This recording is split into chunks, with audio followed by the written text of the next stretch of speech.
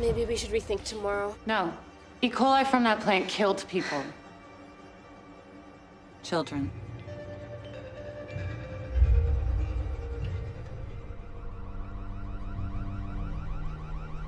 We could always move on. There's no point. Move! Get in, get off this road. Breathe, Haley.